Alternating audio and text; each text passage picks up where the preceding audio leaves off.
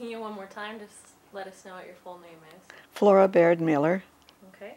And when and where were you born? I was born in Cowley, Bighorn County, Wyoming on the 5th of November 1923. Perfect. And who is your mother? Susie Marie Bassett Baird. Uh-huh. Perfect. And how how did you guys come to live there? Actually, I, I should ask what's what's your father's name as well? Everett Baird. And how did you guys come to live in Cowley?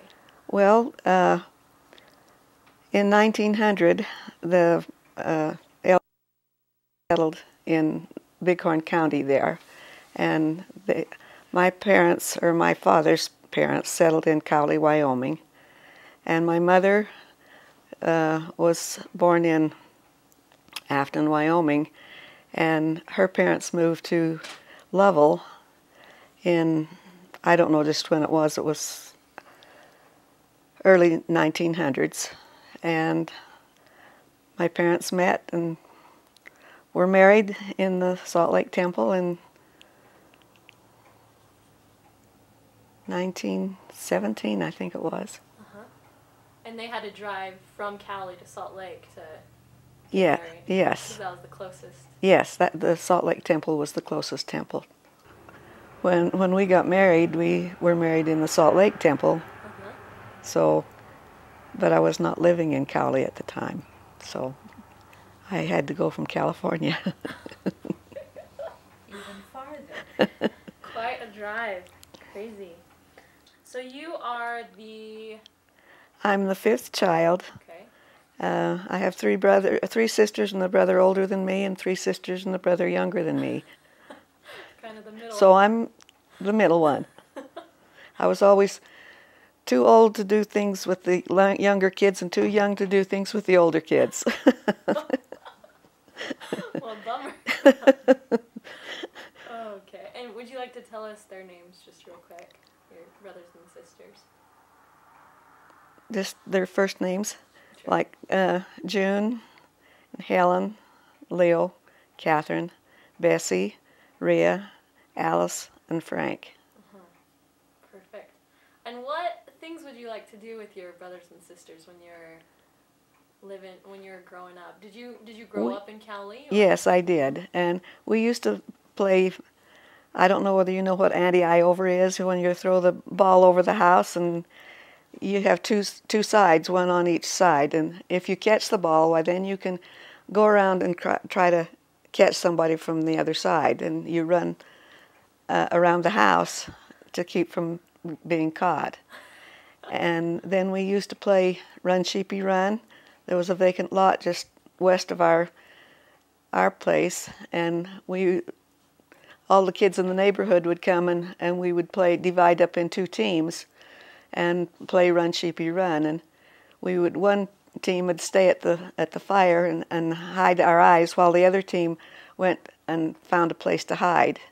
And then when we would go to hunt for them, if we uh, saw them, why we'd holler "Run, sheepy, run!" And the ones that got back to the campfire first was was the one that was the winners. So it was a lot of fun. We had a it was an LDS community, and so we had a lot of uh, LDS friends. I mean, there was only like 500 people in Cowley, in the t- town of Cowley. Why there's only about 500 people, but we had lots of friends, and we were all uh, about well. Like I say, it was just the neighborhood kids that would come there and, and play play games. And did they all go to school with you as well? Yes, we had a, a, a high school and a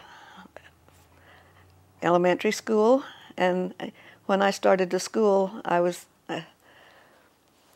I started. My birthday was in November, so I wasn't six until November, but uh, there was about 22 kids in my class, and that's the way it was nearly all the way through school was uh, about that that many between 20 and 25 kids in each each class so it was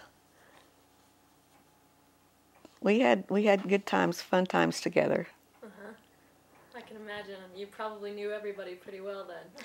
Oh yes. I mean, there were only two kids in the whole high school when I went to high school that were not LDS. The, uh, and so we all went to church together and we all did things together. And so it was it was fun. And how was school done? You guys, it wasn't like the one room schoolhouse where they teach everybody in the same grade. Oh no, we had a, a two-story, uh, well, both the high school and the junior or the elementary school was two stories, and we had separate rooms for each class. So I went one through the sixth grade in the elementary school, and then the uh, we went to the high school building and had the seventh and eighth grade there, as well as uh, all of our high school classes. And we had a, uh, just a little ways in the same block as the as the high school. We had a a building that we used to go to seminary in. We would and we had release time seminary, and so we would go over to the seminary building and have our seminary. Wow, that's nice. So you didn't have to wake up early for seminary. No, no, we didn't have early morning seminary. Let's I say we had release time. What was your house like growing up in Cowley? Do you want to talk about that at all, or Well, how many rooms? And, Well, when uh, when I was born, my parents lived in a just a two-room house, and then later on they added on to it, and added three bedrooms onto it because there were ten of us, Ni- nine. Uh, well, most of the time it was nine because Frank is he's 14 years younger than I am. And so he was six years younger than my youngest sister. And so it's, uh, we were crowded.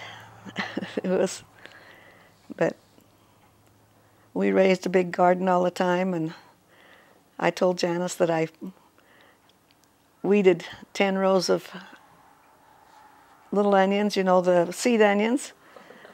And uh, we'd work out in the garden, and we had uh, raised some calves. That uh, we had two or three milk cows, and they saved milk and fed to the to the calves and, and raised calves. That was part of our livelihood was the the the animals that we raised. uh-huh. and you sold them for meat, or was it for milk? Or Well, both, uh-huh. or or we sold them, whichever you know that. When we had chickens, pigs, and one time we had some uh, bum lambs that we fed off the bottle and raised them. It was all just to make a living. So these were all your chores. You had to work out on the farm. And, Well, no, we weren't on a farm. oh, okay. We uh, we did have a farm, but it was not connected to. It was four miles from from where we lived. And I remember we did live out there one spring, uh, and rode the school bus to to school, but uh, uh, most of the time we lived there in the house there in Cowley. And I forgot to ask, were you born in a hospital or? No, I was born at home. Uh huh. Just with a midwife or? I don't know for sure. Uh, there was a doctor, but he would go uh, around to the people's homes. Well, now what about the movies? You said something about Helen and Catherine cleaning the. They used to clean the theater. Yes, Oh. they cleaned the theater, and they would get uh, free tickets to go to the theater. So we got to go once in a while. You know, when there was something good to, that was worth going to see, why we we would get to go uh, to the theater. So, and I used to babysit. I babysat for one woman that I would go every afternoon to her place and stay for a couple of hours, and I'd get ten cents for for babysitting. And then I babysat. I babysat for. Uh, he was our bishop, Bishop Harston, but they were also had the the mail, and they they sorted the mail at, the post office, and they didn't deliver mail around like they do now. Each family had a mail box, a post office box, and uh, I would go and stay at their place with their kids while his wife went and helped in the in the post office in the afternoon, and I got oh I, I think I got a dollar and a quarter a week if I remember right for for doing that. Why that that was what I got paid, but then a dollar and a quarter was worth a lot more than what it is now. Mhm. So Did you have electricity in your home growing up? yes, we did. First first we had gas lights. The you know they had mantles on them, and it's it's like, but it was the natural gas. We we had natural gas uh, in our home, and uh, then then I remember when we got the electricity.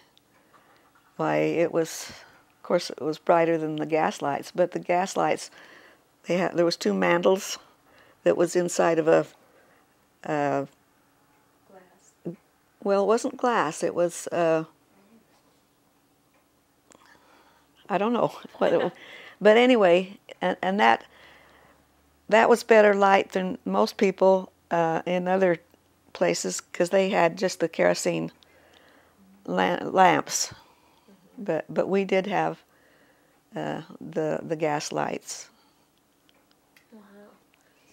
You guys, yeah. What about refrigerators? Well- I remember when we got our uh, our first refrigerator.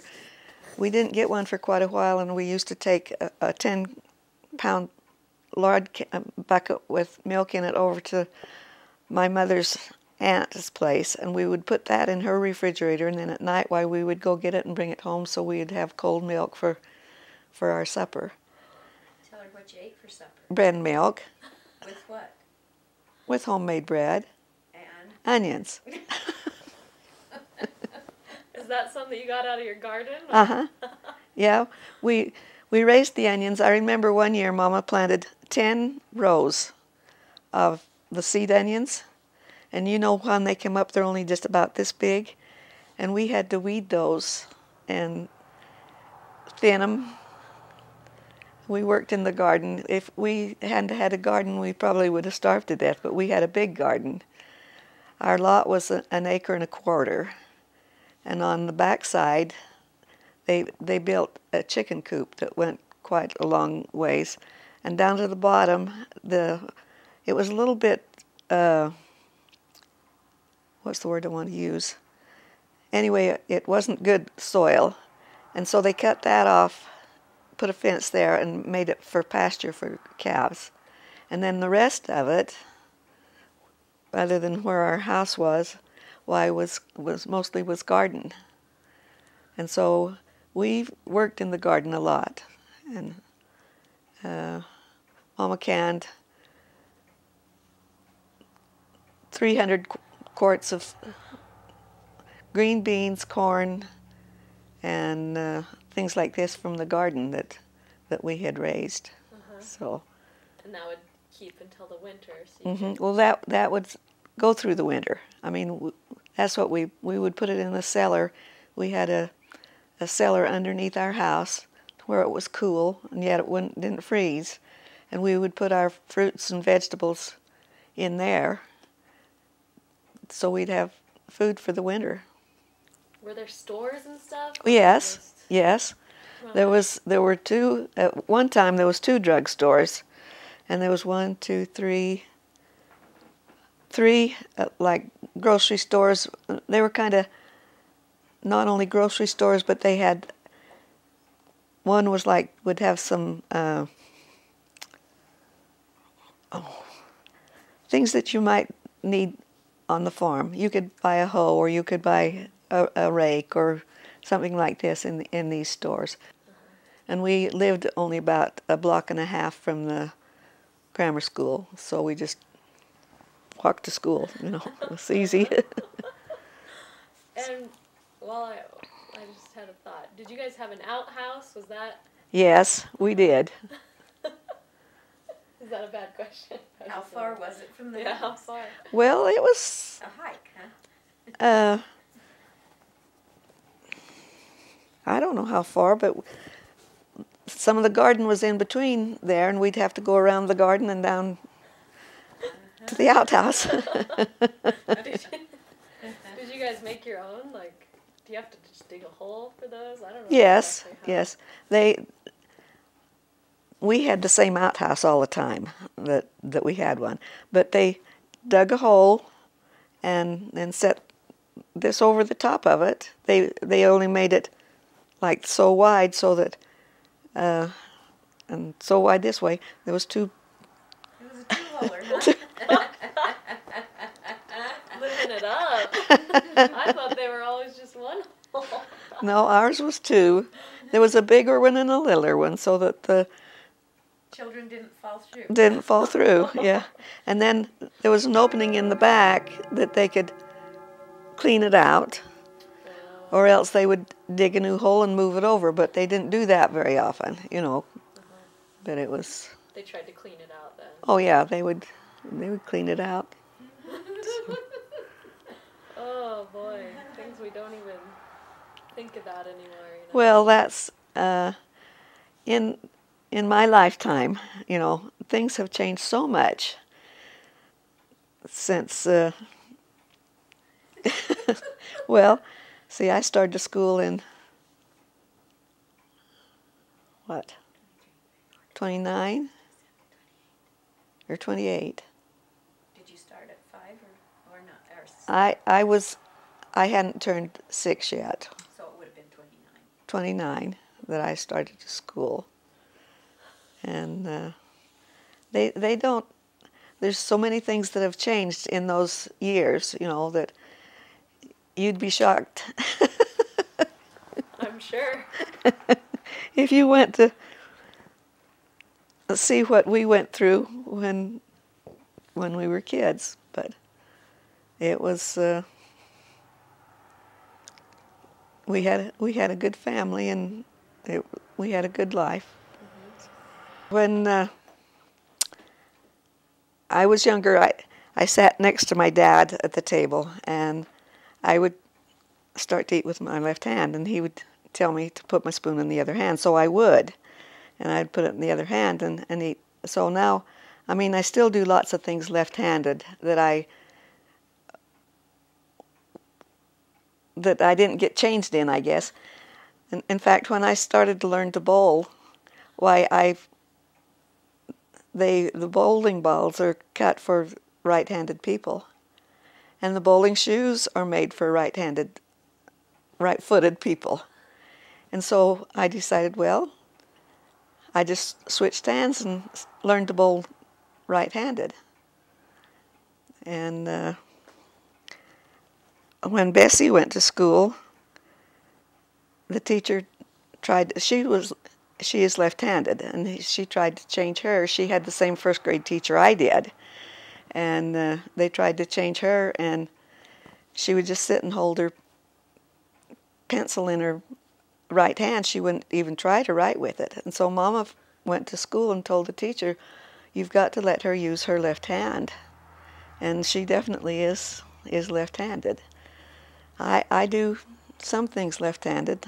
I hold left-handed and things that I didn't get changed in. Why I still I still do left-handed. So it just makes. Uh, I don't know whether it's worse or better to have to be ambidextrous. When did you move from Cowley? Was that when you went to college? Or? No, uh,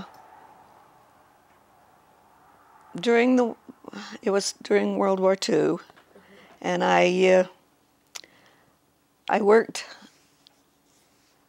Uh, In the canning factory. Yes, I worked in the canning factory. Uh, the the year I graduated from high school, I worked in the canning factory, and uh, I, in fact, I worked part of two seasons. And the I belonged to the National Youth Association, and through them, I got uh, a chance to go to uh, Cheyenne to work, Cheyenne, Wyoming, to work. And uh, I went down there and took some classes, and then I I went to work uh, in Cheyenne, and I worked in the. That when I worked at the Wyatt Manufacturing Company, and I worked in the core room, where they made the they they poured the it was in the foundry in the there. And uh, they made valves for for the ships. And I uh, worked in the core room where they made the the part that went in the middle and then they'd put those in the the Brass forms. Huh? In the brass. in in the farms and then pour the brass around them. And, and so then after they got cooled and everything why they'd pound out that little core that we had made to put in the middle of it why that so that made left a hole in the middle of the of the valve. So water can go. yeah. And i worked there for a year or maybe a little bit longer than that. And june my oldest sister was living in vallejo and working down there. And she wrote and asked me why i didn't come down there and stay. So i, I went to, to vallejo and, and lived with them in, in vallejo and, and worked on mare island. And i worked in the uh, foundry there but it was a they made lots bigger things. And so i worked in the in the shop office. They had me work in the shop office and uh, so i didn't have to do all this heavy stuff. So uh, and that's where i met lowell. He uh, he was in the navy and had gone to uh, no let's see. I don't remember where he had been, but when he came back, he he went down to the South Pacific. I think he went to the Philippines. And when he came back, why he came to see June and Charlie. Charlie was his brother, and June was my sister, and he came to see them, and that's where I met. How I met him. And uh, Wasn't he having some dental work? yes, they sent him to Treasure Island to have some dental work done, and uh, he he came and and stayed. Well, he was stationed on Treasure Island for a while while he had his dental work done, and it was only like what thirty miles or no, it was maybe a little farther than that to to San Francisco from from Vallejo where I was living with them, and. Uh, he came to see him, and that's where it all got started. okay. So yeah, do you want to just talk about clubs or groups or sports or anything that you did in high school? Well, uh, like I say, I was in the pep squad, and we used to go and cheer, you know, at all the football and basketball games, and we got to go some of the time to other towns to to go. There was Cowley and Lovell and Byron and Cody and Powell and that were in our area that that we got to go to, and I was in the in the band, and we uh, they used to have a, a music festival in the spring, and we would go to. One year we went to Cody, and one year we went to Thermopolis, and uh, we would go over there and, and pre-farm, and then we would march in the in the parade. They would have a a, a parade, and we would march in the in the parades. And uh, Tell Sally what instrument you play. oh, I played the baritone. Is that like a trom? No. It it's this it's in the trumpet in the that it's a three valve instrument and but it's it's big. It had a a bell out to the side, you know that. Oh, so- See where you get your That's how. Huh? tuba playing? Well, Karen and Heather play too. Huh? Well, great. And you would. That was when you would march in the parade. Was in the band, right? Uh huh. Uh huh. And how how big was your band? Just out of curiosity. We had a we had a pretty good sized band for the size of our high school. Why, we had probably, oh, I don't know, 40 or 50 students in the band. That's pretty good. And, and that's what I said, we had a good band. It's not a big Now there were you had several friends, like five girls. You called yourselves the. Oh, the 10 tribes. tribes. There was nine of us. Okay. Tell that would be fun. No. Uh, why not, Mom? oh, Grandma. well, it was just, uh, there, there were, there were nine of us.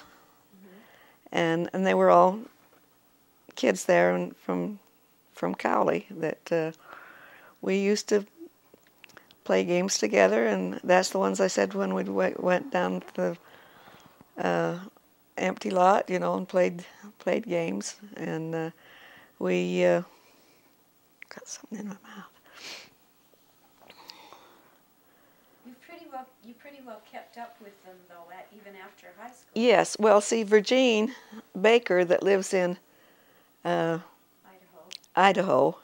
She she's one of them. When we went to see her, and we took her to the temple with us, didn't we? The Twin Falls Temple. Uh huh. Took went to the Twin Falls Temple and picked her up, and we had a good time talking about our old times. You know why it was, and there's only,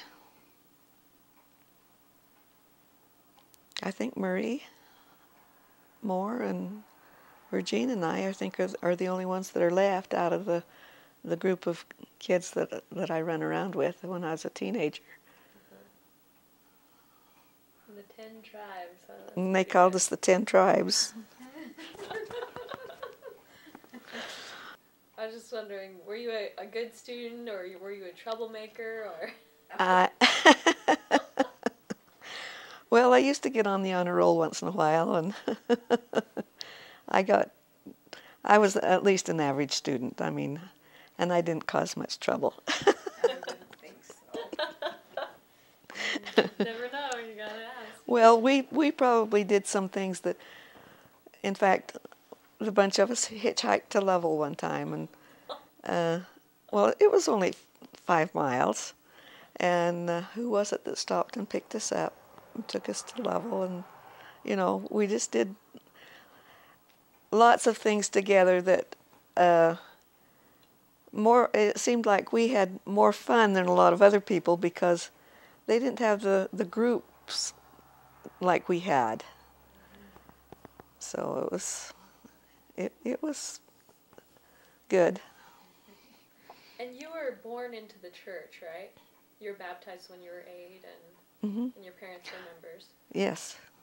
Did they were they converts or were they also Uh, the church? They they were members of the church. I I don't remember how old. Let's see. My dad was born in 19 no. Let's see. Mama was born in 1899 and Daddy was born in 93. 1893. And they his parents had come from Scotland and uh, so he had been a member. They had been members of the church all their life. So that was just the thing for us to do was to be baptized when we were old enough to be baptized. So, And do you remember anything about your grandparents? Did you ever get to see? oh yes, yes. Uh, in fact, uh, Grandma Bassett didn't die until after we were married, and uh, Grandma and Grandpa Baird died when I was younger. But I did, I do remember them. We we used to go over to to Grandma Baird's because she lived just kitty cornered. It was a square block, and we lived in this corner, and they lived in that corner, and we we could go through the back way and, and go over to Grandma Baird's, and she used to give us was it homemade biscuits? Because Mama never made never made biscuits. She, Mama didn't like hot bread, and so she she didn't ever make biscuits, but but Grandma Baird did, and she'd give us some hot biscuits, and of course of course we like to go to Grandma's. And where did your grandma and grandpa Bassett live? well, they they lived used to live down to Kane, and then they moved to uh, up to Lovell.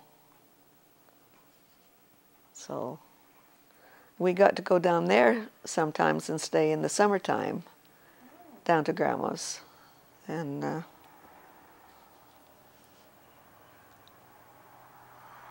so i knew all of my grandparents. And in fact i knew uh, great grandma bassett. Grandma, grandma's mother. But see she she was a bassett and she married a bassett. So but uh, grandpa's parents were not members of the church but grandma's were Grandpa Baird's parents? Grandpa Bassett. See, his name was Bassett and Grandma's name was Bassett. That They- could get confusing. Yeah. they were, I think, like maybe third cousins or something. You go back a ways and you'll run into the same. If you look on your my pedigree chart, you'll find that they run into the same uh, Bassett name back farther. So. So you met him in Vallejo because your sister was staying in Vallejo. She she was living in in Vallejo and she was married to Charlie, Lowell's brother. Uh-huh. So And he came and met you. And do you remember your first date or anything, or or any date? I guess. I was trying to think.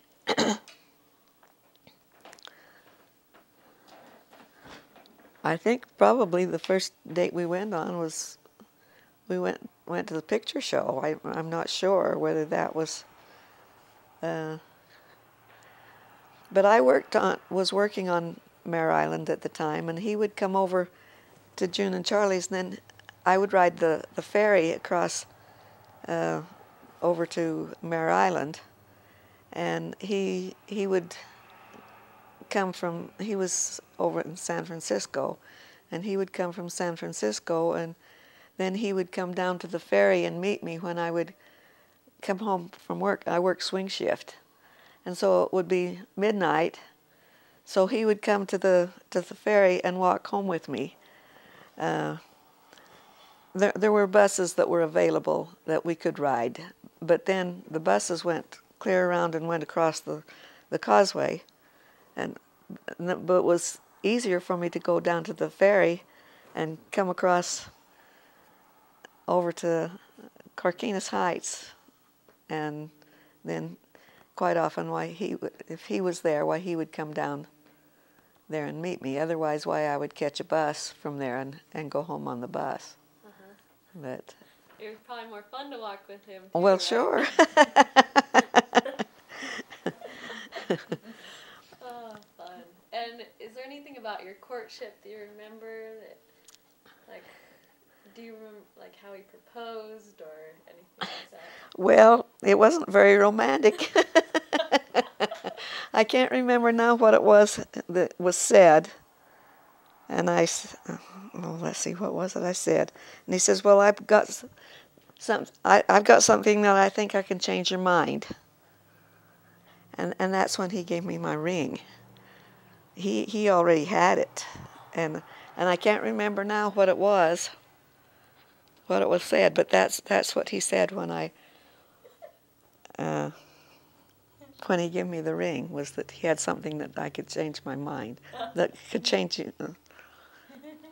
And so we uh, we spent as much time probably uh,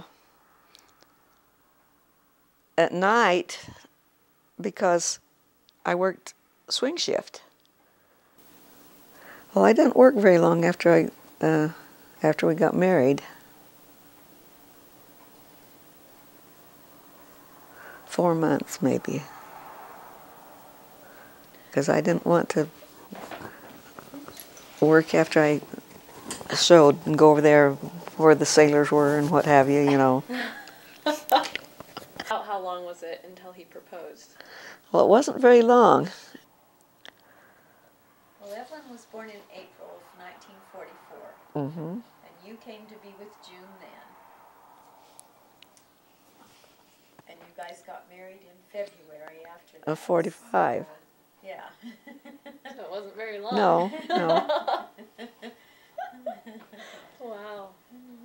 So you were married in the Salt Lake Temple. hmm On the 13th of February, 1945. Somebody asked me why we didn't wait until the 14th and be married on Valentine's Day. But in order for us to have any time, he had 10 days leave. In order for us to have any time, why we thought, well, seeing that at that time you had to get your temple recommend, and they sent it to the temple. We didn't get it and, and could go to any temple we wanted to, like you can now. And uh, but they sent our temple recommend to the temple, and when we got to Salt Lake, our temple recommends weren't there. And so, uh, Grandma Bassett was staying there in Salt Lake with Maud Butter, and we went to her place and we stayed at her place, and then we went and had an interview with uh, Ezra Taft Benson, and he called our stake presidents, or yeah, our stake presidents, and to get so we could get a recommend so we could go to the temple, and uh, uh, Nate Hurst was the uh, stake president in Reno.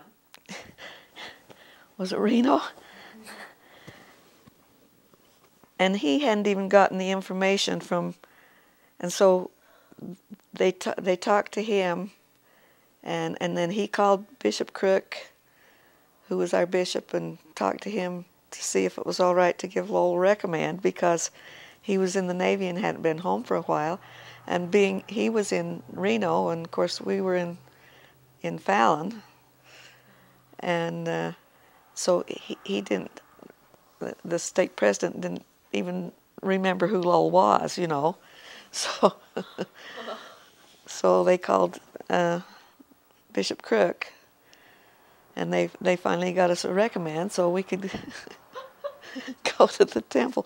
I had never told you that story. I didn't remember that part. Oh wow. oh, fiasco. I thought you couldn't get a t- a marriage license because the courthouse was closed. Well, we yeah on the twelfth. Birthday. Yeah, it was Lincoln's birthday, and we couldn't get a, a marriage license. But we didn't. You had one thing after another. but I think we were supposed to get married I think so. I think so too. Because all the problems we had. Why? And was anyone able to come to your wedding or My grandmother was there. She was staying in Salt Lake. So, yeah, in Salt Lake there with Maud Butter, and I stayed at her place. And uh, where did Lowell stay that night? Whether he stayed there, too, I don't remember. But anyway, she, my grandmother, went to the temple with me. and she showed you around and Well, you know, it's kind of nice to have it was nice to have somebody there to, that. But Lowell didn't have anybody with him. So you took out your endowments at about the same time, right? As the wedding. It was right before the ceremony. oh. Yes.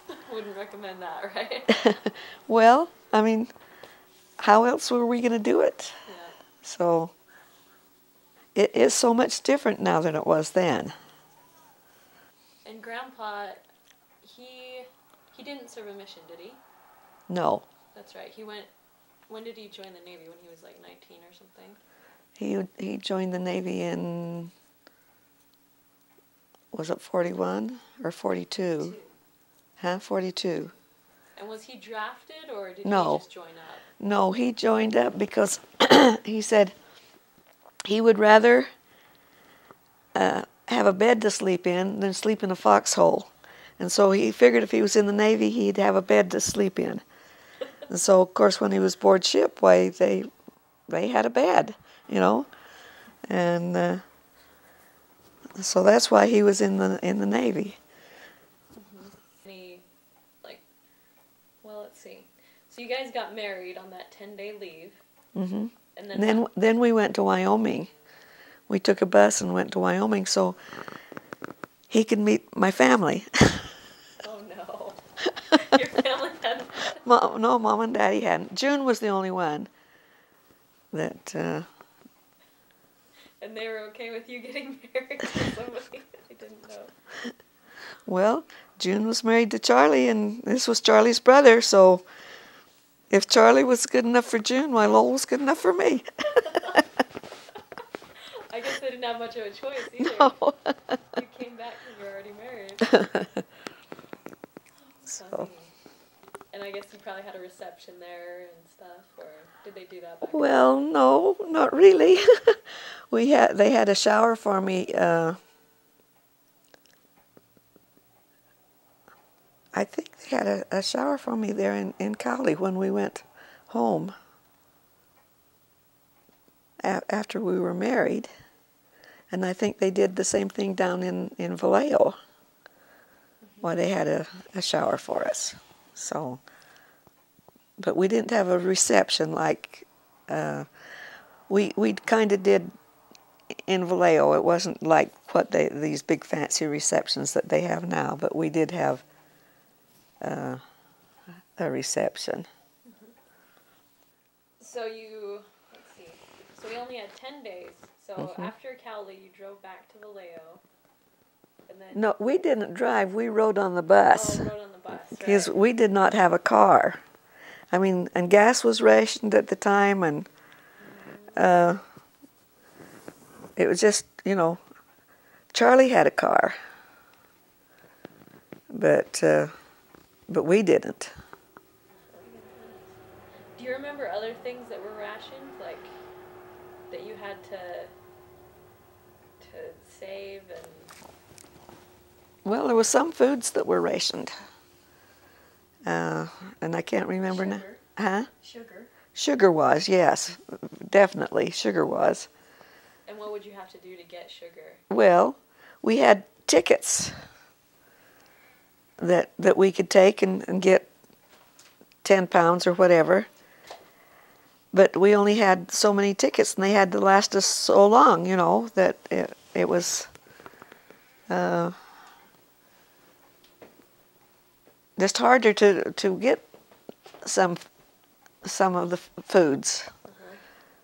Meat was very scarce, and, uh, and I don't remember whether we had uh, whether the meat was rationed, whether we could get it with the tickets or not. But I know that that sugar was. So Grandpa went back out to sea after you guys got married. Mm -hmm. And how how long was he gone? He was gone for five months. That was the longest time he was gone. Well, uh, I mean, he'd go out. He was on a troop transport ship, see, and so he was a gunner on the troop transport ships, and so he stayed with the with the ship. And they would go and take him to the Philippines. He went to the Philippines, and he went to different places like that. But he would just go, and then he'd come back. And this time, he was gone five months. So Wow. And that's right after you're married. Just yeah. so. My mom was a honeymoon baby, right? Yep, yep, definitely. So you were alone for the first five months of pregnancy. Mm -hmm. Well, I stayed with, I was staying with June and Charlie. I stayed there. Then after he came back, why, then we got a place of our own. But it was, I can't even imagine. that sounds so terrible. oh, did you? Hold on. We gotta change tapes here real quick. But did you get sick at all? Do you remember? Or? do you know, if I hadn't have missed my periods, I'd have never known I was pregnant. no way, really? It's just easy, mm. huh? I, I had a very easy time. That is good. Especially since your husband was oh, shoot. That is great. I hope I'm like you. So was Grandpa surprised to find you five months pregnant when he got back? oh no, because we corresponded. Uh-huh. So was that through mail or how did you guys correspond? Mail. Uh-huh. I just wonder how they got it out to the troop transport, Philippines and stuff. Like how did they just have ships that delivered the mail to them, or Uh huh. It, it's uh, totally different from what it is now. I mean, I mean now you can Email. Email and uh, use your cell what your phones? cell phones and and I don't know how to to do them. All right. wow. All right. So but no, we didn't email. We just uh, airmailed. airmail. Send him airmail. And did it take a long time to get? Sometimes it depended on where he was, you know. So I'm sure you were. I've. I've still got a whole bag of letters really that. Yep. fun. That would be fun. So, were you ever worried about him? Like, was he ever in lots of danger, or? Well, most of the time not, because, like I say, he he transported they transported the the troops to these areas, and most of the time, why he was just aboard ship. He was a gunman on the aboard ship, and uh, most of the time, why it wasn't as dangerous as the ones that were in on the front lines and this, you know, why. But he was. It was he was safer. So, describe. Uh, well, when did Grandpa got out of the Navy? When the war was over, right? Uh huh. Okay, and then after that, where was he employed and stuff? What did he? Well, uh, he worked on Mare Island for a little while, but then when they, after the armistice was signed, we came back to Fallon. it? Was in July, wasn't it, of 46 that we came to Fallon. So you had a little tiny baby with you and, came back, huh? And so, what family did he have in Fallon? That's where he grew up. That's where he was born and raised, was in Fallon. So his parents were there, and and uh, his his brother Dale was in the Air Force, and he never did come back to Fallon to live. And Alfred was in the Navy, and uh, Harry was uh, he worked for the uh, what down in in uh, Davis. huh And Davis. in Davis, uh huh. Worked for the Department of Agriculture. yeah. And then Alfred and Charlie and George May were all in Fallon. Yeah, They back to Fallon.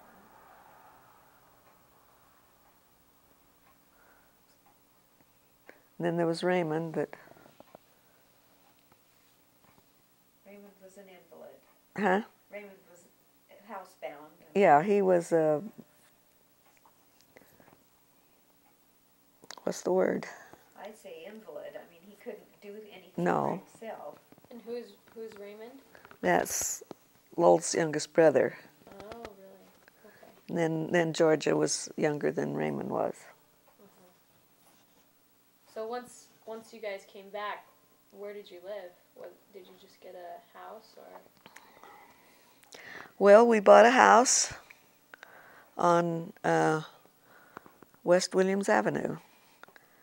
And uh, Lavelle Robinson came down and loaded all of ours and all of Charlie's stuff in his uh, truck and, and brought it back. And uh, June and Charlie bought a house just, uh, they didn't get it as soon as we got ours, so they stayed there with us for for a while until they got their house and got it set up. It was only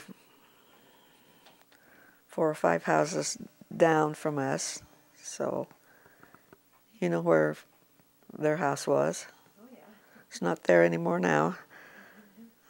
Fallon grew too much. They bought all that property and So la- later on, why he did uh, work for Grandpa, and uh, we traded places with them. They moved into our place in town, and we moved out to the ranch, and uh, did the did the farming, and then uh, Is that close to where you live now? yes, Down the lane. it's instead of being up on the hill where we are, it was right there where you turned to go up to our place. Why the, there was a house right there. Uh-huh. And that's where you raised your children and stuff. hmm Okay. How long did you live in that house? It was quite a few years, right? While you were raising your kids. Did we live there? Did we live there when Elaine was born? Uh-huh. In '57, we moved out there. And she was born in '58. And you bought, you didn't get your house up on the hill until mm, The 80s? about 1980. So probably 25 years or so you were down in the. Wow. But they were in town Uh-huh. until that. We lived in So how old were you when they moved to 12. you were 12? Uh-huh. Okay. So where did your kids go to school? In Fallon, the school bus picked them up and Hauled us around. took them to town. and that's about 5 or 10 miles away, right, to school? it's about seven, seven miles to town. I guess that would be more of questions to ask you later, huh? so what did you have what kind of jobs did you guys have to do while you lived out there on the farm? What did you have your kids do and what did you do? And Hoed in the garden and pulled weeds and what else did you do, Janice? We did sugar beets one summer. They only raised sugar beets one year. are they bad to Well, they didn't have the equipment and the things that they needed to do it, and it was, it it's too. What's the word I want to use? Time consuming. And uh, Lowell just wasn't interested. I mean, after the one year, why that, that was enough of that. Too much manual labor. And then he worked for Frank Gastite, seining fish. seining fish? What is what does that mean? Like breeding fish? No, no, they'd go and have these uh, That's nets that they would go and, and get them and catch the fish and put them into their. Uh, they must have had a truck. They did, but I was trying to think what to call it. They had ice in it so they could keep them keep them fresh. Where would they catch fish? In the desert. Well, there's Walker Lake, there's uh, Pyramid. Pyramid Lake, there was Lahontan Valley or Lahontan Dam Reservoir. And didn't they take the fish to San Francisco? Weren't they catching catfish and they'd take them down to Chinese? Well, it wasn't catfish. Oh, okay. It was uh, like carp. Yes, carp. That's what it was. And they took them down to Filipinos or Chinese or somebody in San Francisco because they wanted those trash fish. Yeah, that's that's what they were really is. Trash fish. You mean stuff that you guys wouldn't eat or what? No, we didn't ever eat any of them. So he did this on the side um, of working on the farm. Well, at that time he probably wasn't working on the farm. Okay. Uh, and he worked for Chet Williams that year that he worked out there on the dairy. That he, he wasn't. Well, see, Grandpa was still doing the farming, and uh, but when we moved back, why then he kind of retired and Lowell took over. In fact, we bought the ranch from him, From Grandpa Miller. oh, okay. Grandpa's dad. Yeah, Lowell's dad. yeah. Sorry. Why we bought it, bought it from him. Uh-huh. And that was when you switched places and stuff. And did you have milk cows or what? No, Lowell wouldn't raise milk cows. We had beef cattle. Okay. So you'd have to go out and round them up and change. Well, see, he could put them. We had a pasture down by the Navy base, and we would trail them down there, and they just stayed down there on the pasture for the summertime, and then we'd trail them home in the fall, and they would do the branding and whatever they had to do with them, and then they would put them out into our fields after they had harvested the the crops off from them. Why then they would put them out in the in the field. So you were you raised crops in this the fall field by your house, and then after like you would harvest the crops and then you put the cows in there. Uh huh. Okay. But we only had what ninety acres of uh, cultivated ground. Then then we sold the part over west. That was pasture mostly. Yeah. And how I always heard that Grandpa Miller didn't like horses. He wasn't a horseman. He didn't he didn't like to ride the horses. So how would he round up the cattle? On foot. Didn't we? Isn't that the way we did it? On the motorcycle. I just think that's great. I can't imagine like it. It would be pretty bumpy, right? I mean, it would be crashed. But that's the way we used to. He used to take that down to the pasture, and when we'd br- trail the cows home. We'd use the pickups. Mhm. hmm Maybe that's why I don't like horses. Huh? it's all Grandpa Miller's fault. All inbred, Sal. So, what were your what were your duties on while you guys were living there on the farm? Did you mostly do? well, I, I've I thinned beets one year, and uh, hoed the in the. We raised, You took care of us and you cooked the meals. yeah, You know.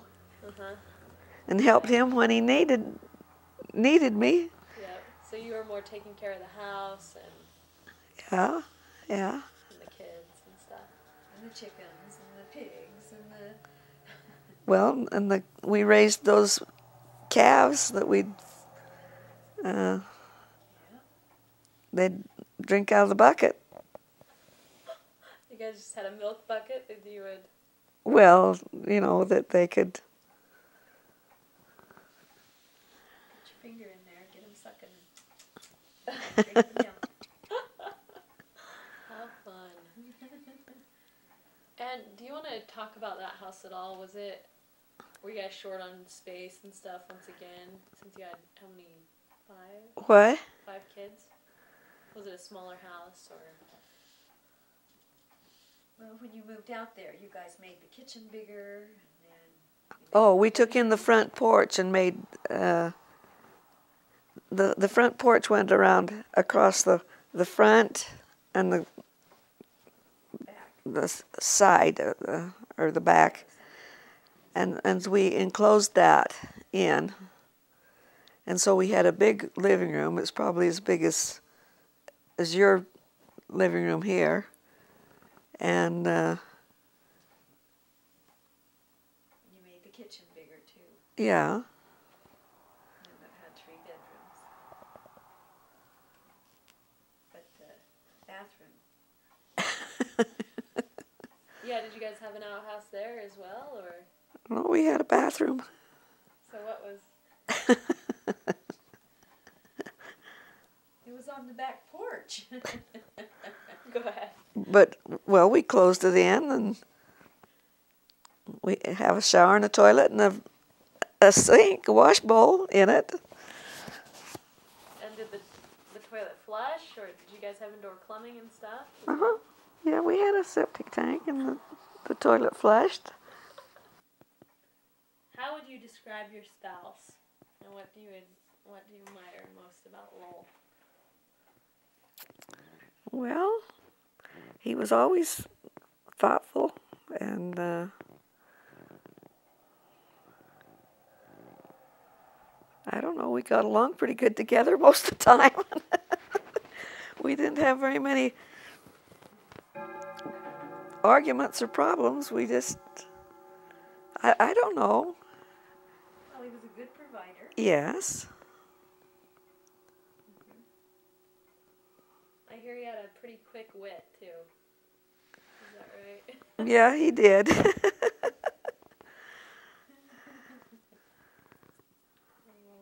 Can you think of anything more, Janice? Oh, about Dad? Uh huh. Well, I mean, he'd he'd make time for you know fun things in this in, in between crops. Why we'd go to Wyoming fishing and He'd never been fishing till he went to Wyoming. And they took him into Devil's Canyon the, the first time we went. Oh, uh, I didn't know whether he'd ever want to fish again. but he did.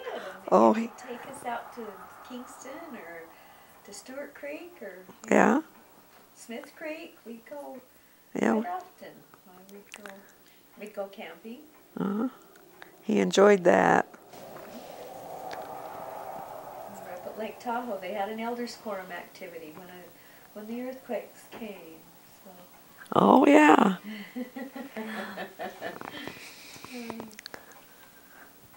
How did you choose your children's names? Was there any, or did they just sound good to you?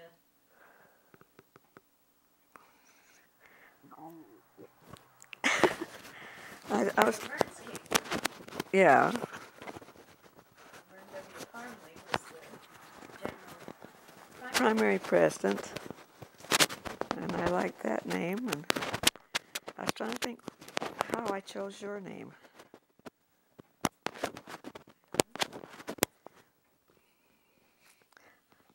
Okay. But but but I knew I liked it, you know. Eldon's was Nathan Eldon Tanner, right? Is where he got. was that the time that he was He was a general authority. general authority? Uh huh. And Laverne Parmley was was it the General Relief Society president? And do you want to talk about Elaine at all? Um, Ask me any question you want to. I okay, you're here. All right. So she was born after Eldon, right? Oh yeah, yes. She's uh, she was born in Fifty-eight. '58. She was four years younger than he was, and uh,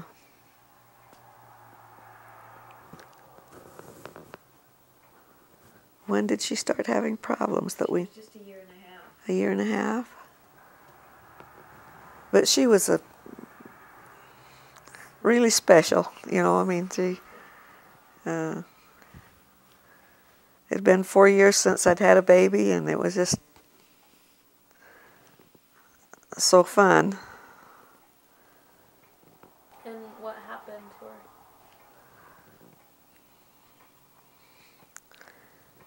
Seems like Shirley Tucker said. you know, Huh? Shirley Tucker had noticed Elaine's eye. That something was wrong, or I, I couldn't remember what. Uh, anyway, she had had her eye removed, she had cancer. had cancer in her eye, and had had it removed and had an artificial eye. And uh, we took her to San Francisco. Possibly. I'm not sure. Well, someplace. But then she had a seizure, right? Uh huh.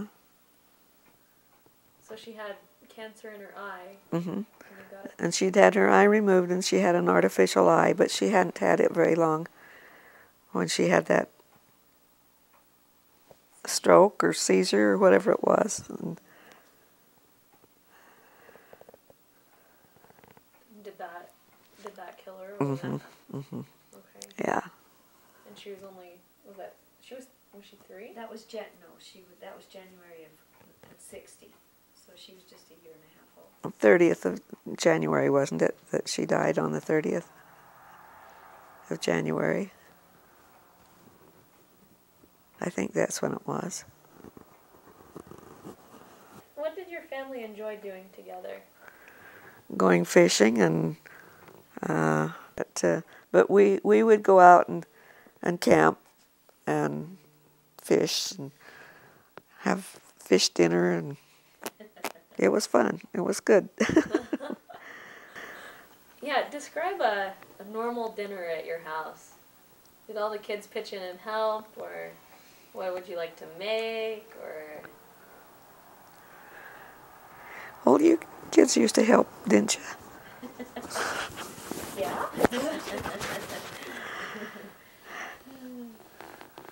well, we always had meat because there was beef cattle, right? Yeah. So a meal was pretty much planned around the meat and the vegetables that you grew. We raised we raised a big garden all the time, and uh, potatoes and gravy and vegetable and a salad and and usually bread of some kind. I always made bread. I don't know. I don't ever just living on bought bread. No. I mean, we always once in a while you might buy a loaf of bread, but And always a dessert. we uh, we uh, raised cantaloupe. and, Uh, corn and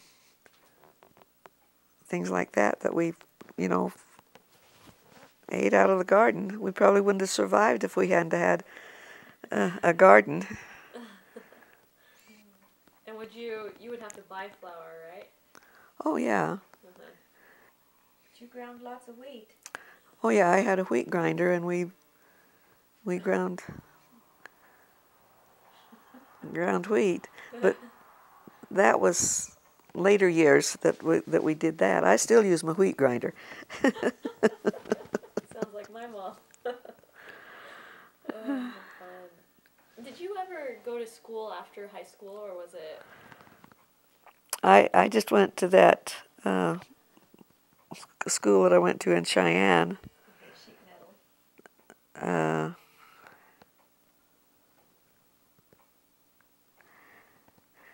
I stayed home one year after I graduated from high school, but I worked in the hot lunch room. And uh, it seems like I took some classes for something, and I don't, I can't remember what it was. It might have been through church, you know, that I did that. But I did have a, a, a certificate that I graduated from high school. Uh-huh. Hey, that's all you need. Right? How. I had just asked her about how going clear back, you know, to the when she was little, you know, how they she to told me about how they only had three dresses a year, and and who Well, okay. helped make them. Aunt Aunt Ona, that was, uh, mom, well, she was Mama's cousin, and he was, Uncle Danny was Daddy's brother. But we would buy the material and take it to her, and she would cut a pattern and, and cut out our dresses, and then Mama would sew them up. Would would sew them, and we had three dresses, and we wore a, a dress for a week or whatever, and then next week we got to wear a clean one and but when we came home from school we changed our clothes we always changed our clothes when we came home from school uh, because we had chores to do and you know things like that that we needed to do and so we had to keep our our clothes clean. And would you would you wear pants when you're doing your chores, or would you still have to wear a dress? We wore uh, overalls quite a bit, I think. But Because girls weren't allowed to wear pants in school back then, right? You had to wear. I, I we wore dresses to school all the time until I got into to high school and we took PE and then we had um, they they come down to your knees and they had sleeves in them and uh Like a jumpsuit uh-huh cut off. uh-huh we wore those for PE Uh huh. Wow.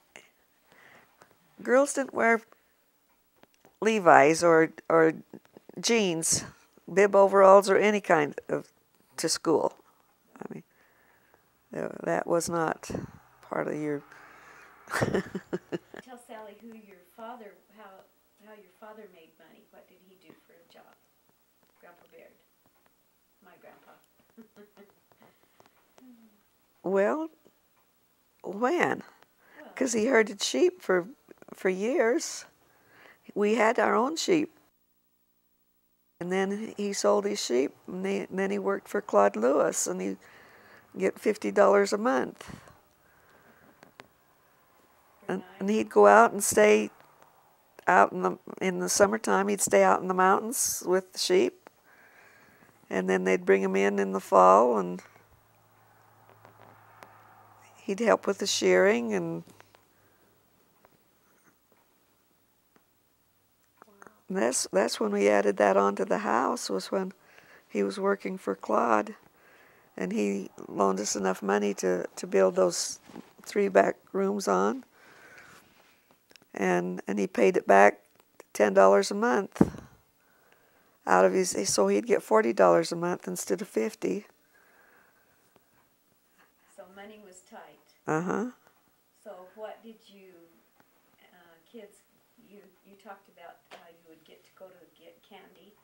To get to go where? You'd get candy at the drugstore. Oh. Sometimes your dad would give you a quarter. We'd give a quarter. It was penny candy. It's uh, like all the little, what do you call them now? Uh, but we'd go. Daddy'd give us a quarter, and we'd go up to the to the drugstore and stand there and pick out twenty-five pieces of candy, or, or the the brownies and the blackies. th- They were three for a penny, and that the blackies were licorice and the brownies were were chocolate, and we'd pick out the the different pieces of candy and go home and put them in a bowl, and we'd get to take choose a piece. You know, they'd pass it around, and then pass it around again. I think we usually got three pieces of candy, but the, there was like the little baby Ruths and the little Butterfingers that now I don't know what you pay for them. They have those small ones, but I know you don't get them for three for a penny. Oh, no. Not hard.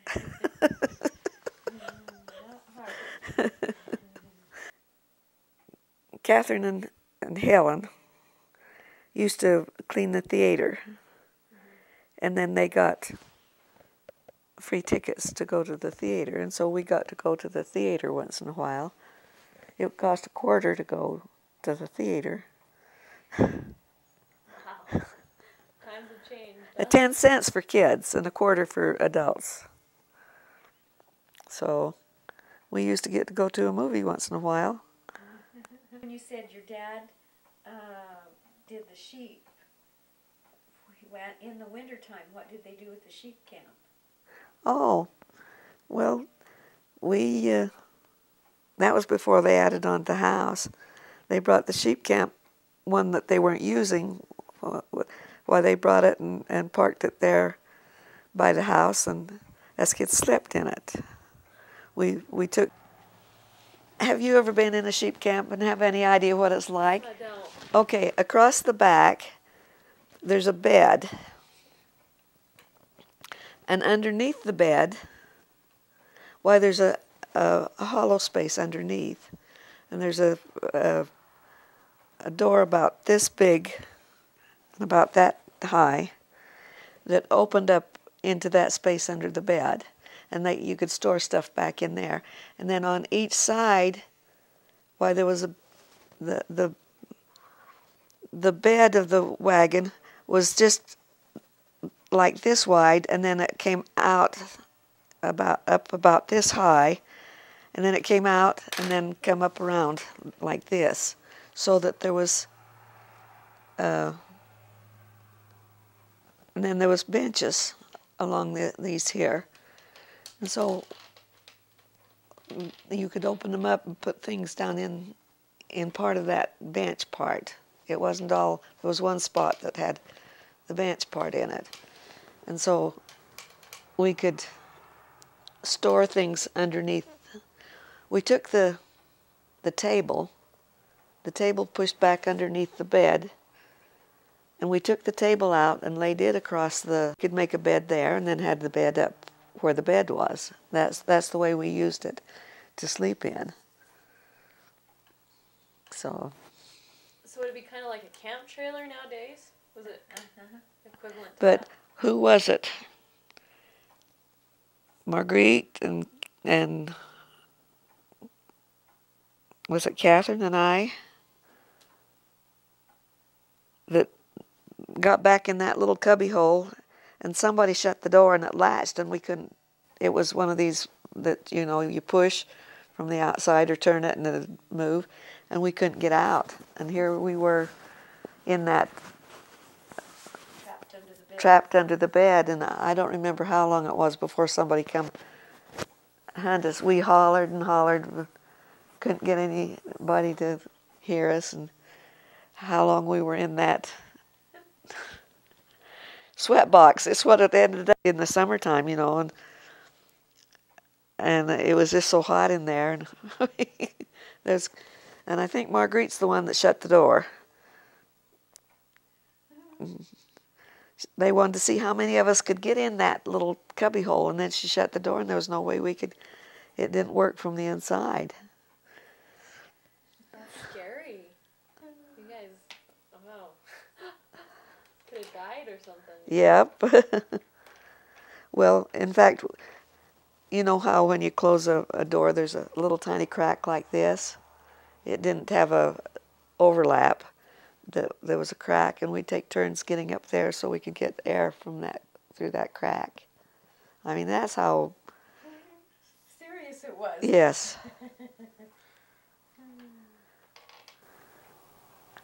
You got a good family. Tell you might tell Sally how many grandchildren, how many grandchildren, and how many great grandchildren. Yeah, there we go. Okay, I, there's 37 grandchildren and 74 or 75, I forget, great grandchildren.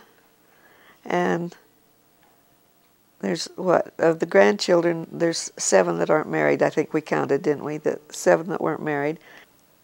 But most of them have either been married in the temple or, or gone to the temple. And I feel like that's a a good. Good legacy. Mm -hmm. And how would how would you like people to remember you? Well, I don't know. Just for who I am, I guess. She always served well in her callings. I was going to ask you about that, about church callings and stuff. Do you remember any? Do you want to talk about those a little bit? well, I started out by probably being a beehive teacher when I was down in Vallejo. I'm not sure whether I whether I taught beehives then or not. I think I did though. I know I taught beehives in after we moved to Fallon, and I've worked in the uh, primary presidency. I've worked in the Relief Society, been the stake Relief Society president, and two times. and uh, now all I'm doing is uh, visiting teacher supervisor, I guess. It got too hard for me to. Somebody had to come and get me and take me, you know, and, and so they made me the visiting teacher supervisor of oh, five districts or something. Wow. And uh,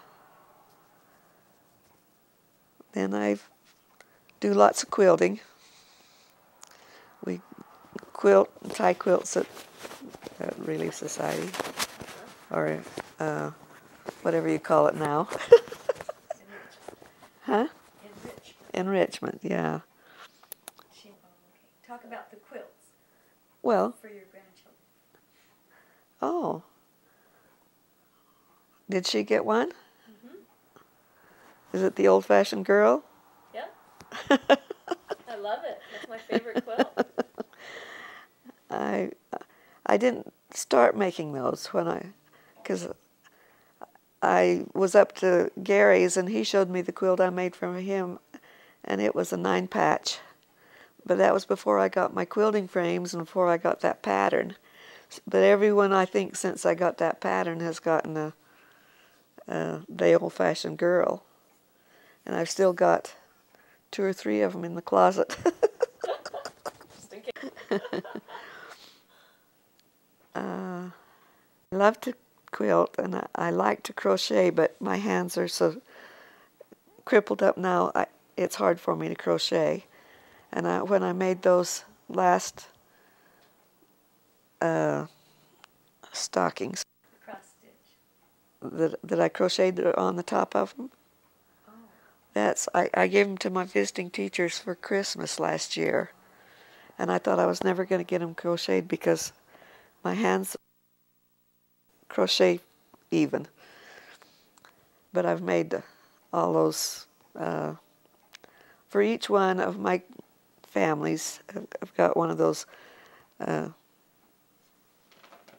what do you call them? Chicken scratch. Chicken scratch quilt uh, tablecloths. Your mom's got one. And I made and I made one for Annie Heyer. That's the Carolyn's friend that lives over in Orem. She saw Carolyn's and she thought it was so pretty.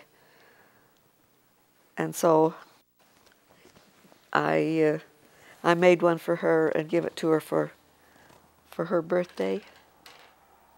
I think that's when I gave it to her. And she was going to put it away and save it and give it to her daughter. And I said, Don't you do that. I said, You use it.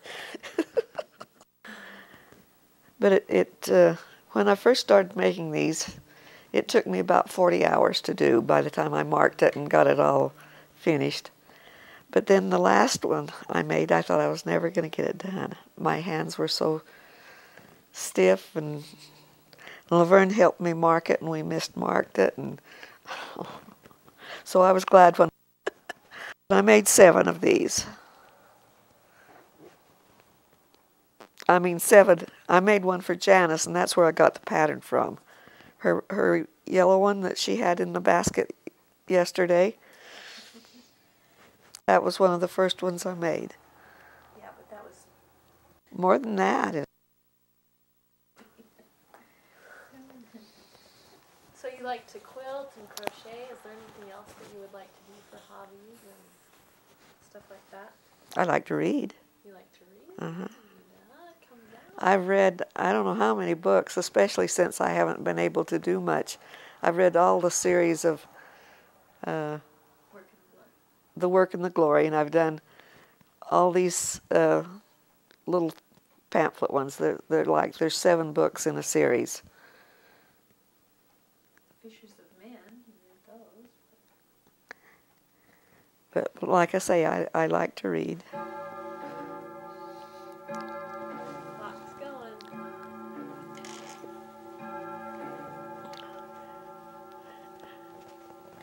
But Annie just couldn't get over that tablecloth, so I thought, well, I'll make her one.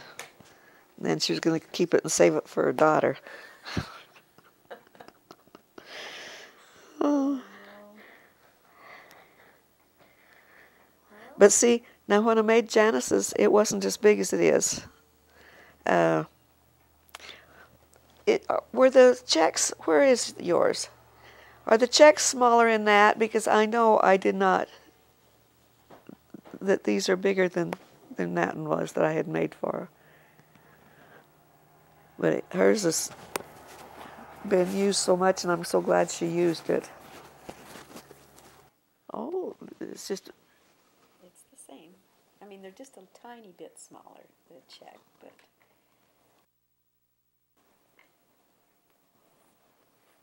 But we tried to make them the same. oh, why did I think that, that, uh, that these red ones were so much bigger? I don't know. Huh. well, they are, aren't they? Yeah. It's just a little tiny bit difference in the in the gingham, you know, over forty years.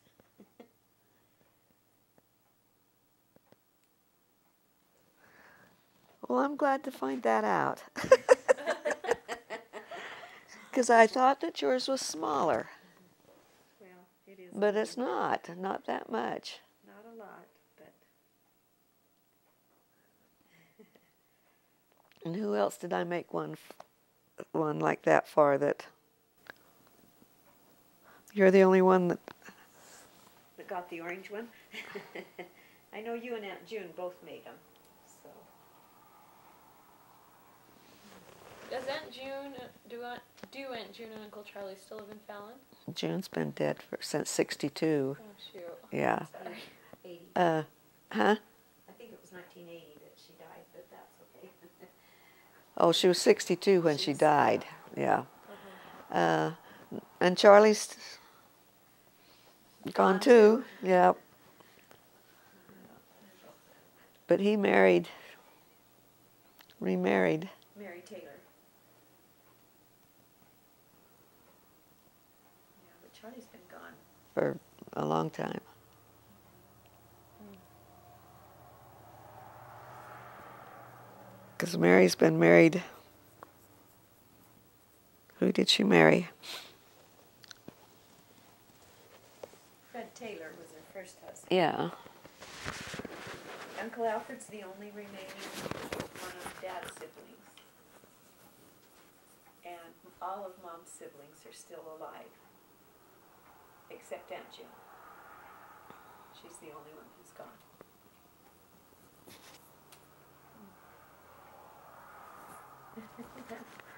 Oh, okay.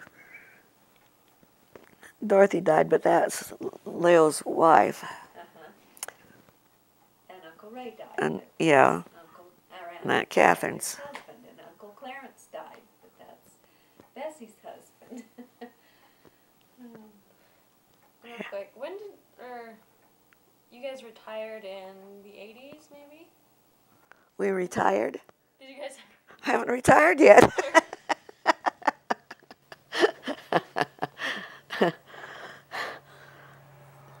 well, I don't know. Not it. We didn't retire that long ago. What do you call retired? well, when Dad quit working. Yeah. When did he start leasing out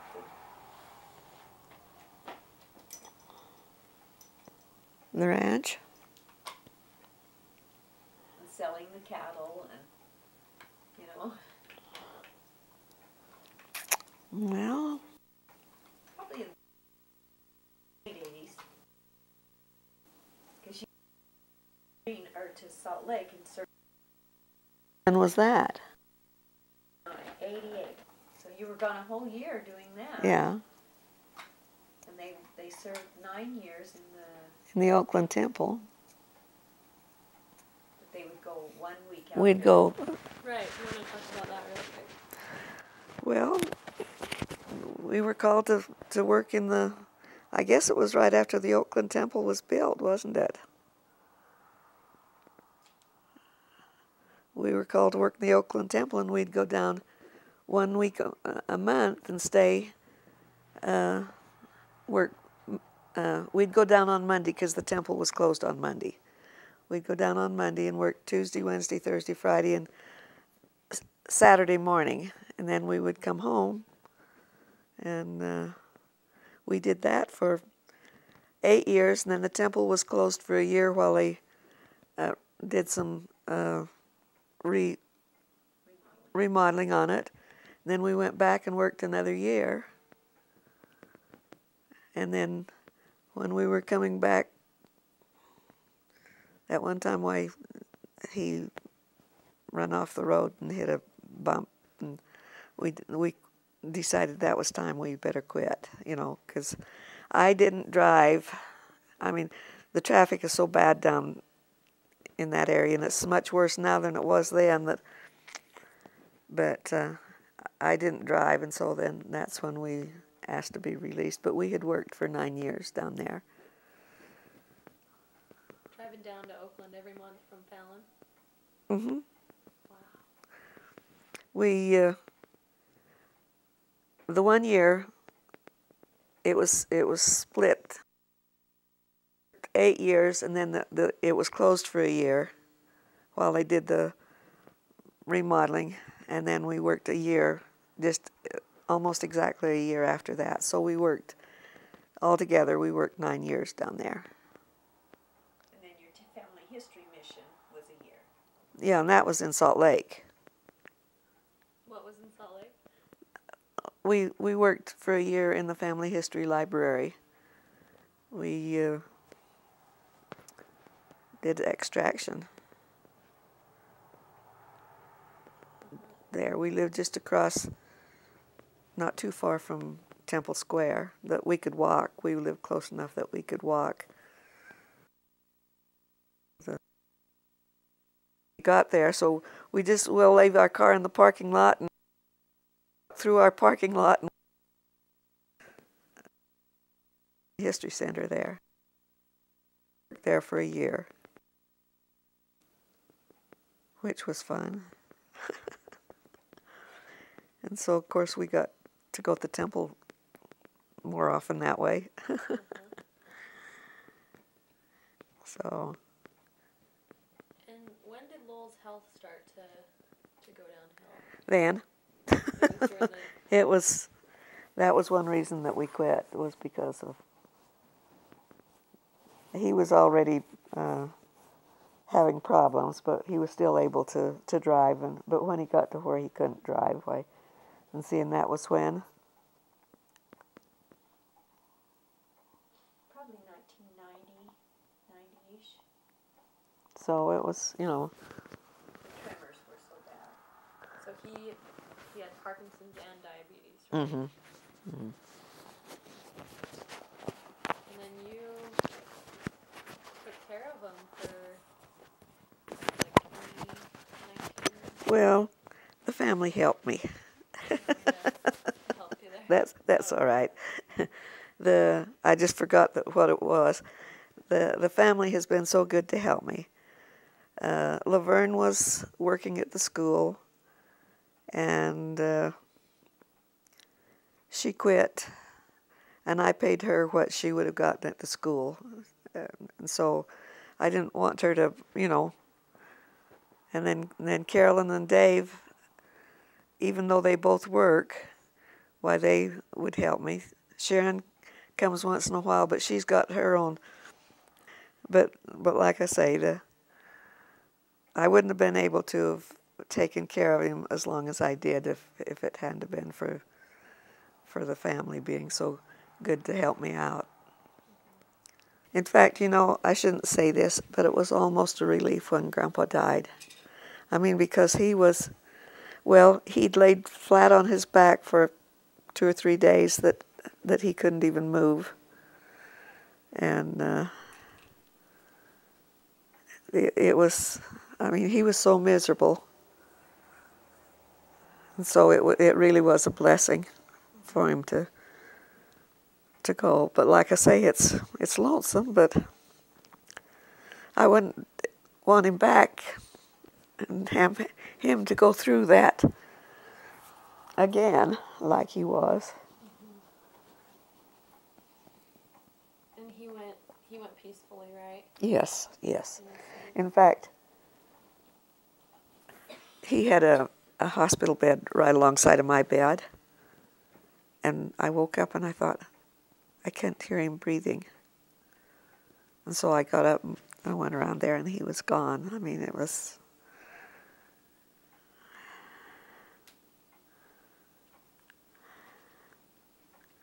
Good thing we know about eternal families, right? Thank goodness. That's one thing that that I look forward to most is seeing Grandpa up there, because I my whole life I never really knew him without Parkinson's and diabetes. oh, yeah. So I just can't wait to meet him. You know, like Well, if he's anything like he used to be, why, you'll enjoy it. right, Janice?